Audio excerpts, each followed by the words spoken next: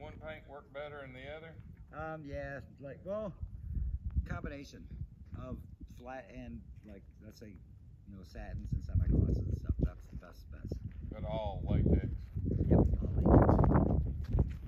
You mix the two, you get the best of both worlds. You, know, you get the strength and all